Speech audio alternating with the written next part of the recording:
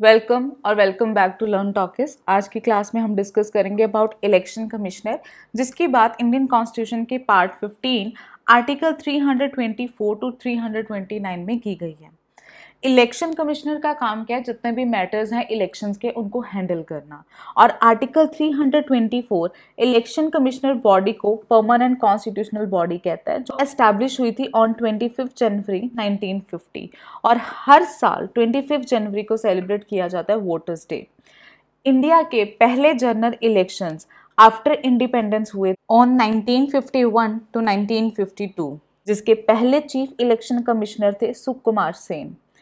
आज के टाइम पे जो इलेक्शन कमिश्नर बॉडी है, वो मल्टी मेंबर बॉडी है। यानी उसमें एक चीफ इलेक्शन कमिश्नर है और दो इलेक्शन कमिश्नर हैं।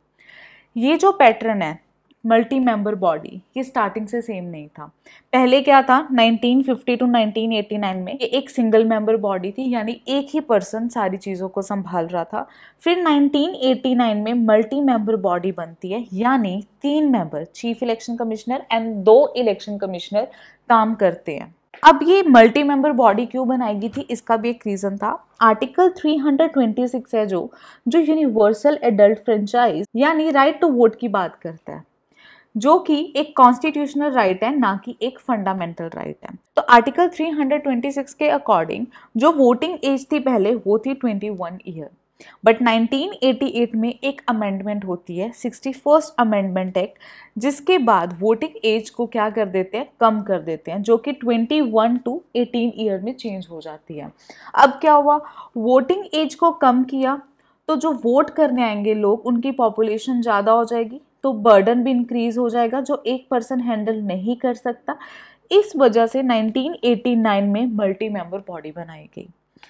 उसके बाद 1990 में सिंगल मेंबर बॉडी आती है और उसके बाद 1993 अक्टूबर और टिल प्रेजेंट हमारी मल्टी मेंबर बॉडी है। यानी 1993 टिल प्रेजेंट हमारे एक चीफ इलेक्शन कमिश्नर हैं और दो इलेक्शन कमिश्नर हैं।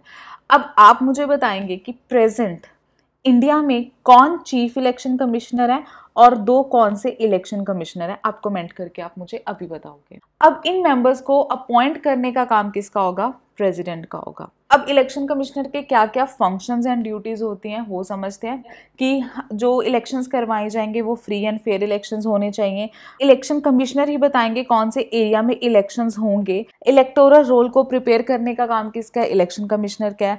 कब इलेक्शंस होंगे? कब इलेक्शन के रिज़ल्ट आएँगे? कहाँ कहाँ इलेक्शंस होंगे? ये सब कौन नोटिफाई करता है शेड्यूल को? इलेक्शन कमिश्नर करते हैं। पॉलिटिकल पार्टीज़ जो है, उन्हें रजिस्टर करने का काम किसका इलेक्शन कमिश्नर का अगर कोई न्यू पार्टी आती है तो पहले वो अपना नाम, अपनी चीज़ें, अपना सिंबल सब इलेक्शन कमिश्नर को बताएँगे।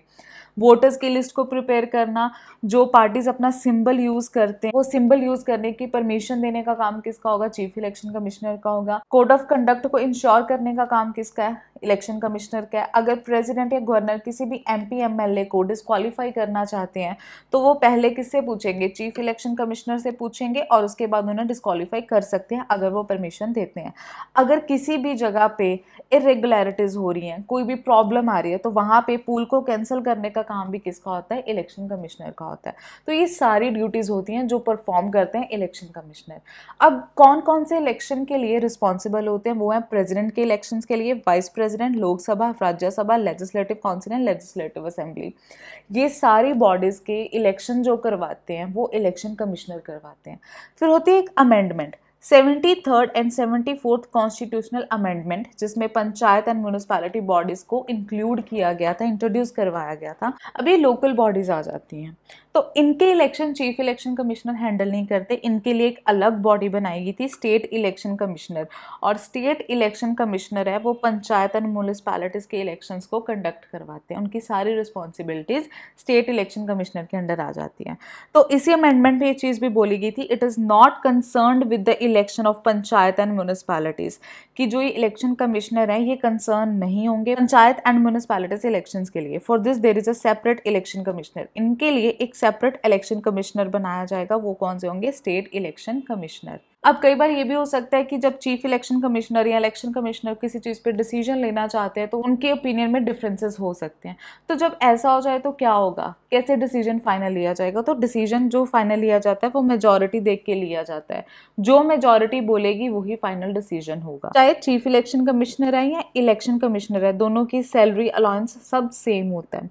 बट इनकी रिटायरमेंट एज डिफरेंट होती है। सेम क्या होता है कि आप छः साल के बाद रिटायर हो जाओगे बट अगर एज की बात करते हैं तो चीफ इलेक्शन कमिश्नर की जो एज है सिक्सटी फाइव है, और इलेक्शन कमिश्नर की सिक्सटी टू है। यानी चीफ इलेक्शन कमिश्नर है, या तो अगर उनके छः साल पूरे हो गए तो रिटायर हो जाएँगे, या फिर उनकी एज है जो सिक्सटी फाइव हो जाएगी पहले तो तब भी रिटायर हो जाएँगे। जो चीज़ पहले कंप्लीट हो जाएगी, उसके बेसिस पे वो रिटायर हो जाएँगे। और सेम इलेक्शन कमिश्नर क्या है? छः साल पूरे हो गए तो रिटायर हो जाएँगे। अगर उनकी एज पहले कंप्लीट हो जाती है सिक्सटी टू ऑफ़ वो रिटायर हो जाएँगे। अब ये तो हो गया रिटायरमेंट का प्रोसेस कि रिटायरमेंट हो गया बट इन्हें क्या रिमूव किया जा सकता है? हाँ इन्हें रिमूव किया जा सकता है। किस बेसिस पे? अगर कोई मिसबिहेवियर है या इनकेपेसिटी है, उस बेसिस पे इन्हें रिमूव किया जाता है। अगर चीफ इलेक्शन कमिश्नर को रिमूव करना है तो उसकी पावर किसके पास आ जाती है? प्रेसिडेंट के पास आ जाती है। बट क्या बोला गया यहाँ पे? Can be removed by the president president इन्हें रिमूव कर सकते हैं बट किस बेसिस पे?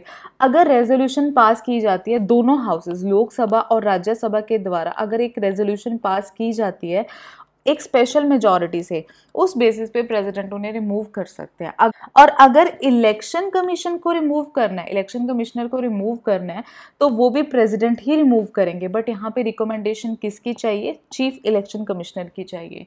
चीफ इलेक्शन कमिश्नर ने बोल दिया तो प्रेसिडेंट रिमूव कर सकते हैं इलेक्शन कमिश्नर को।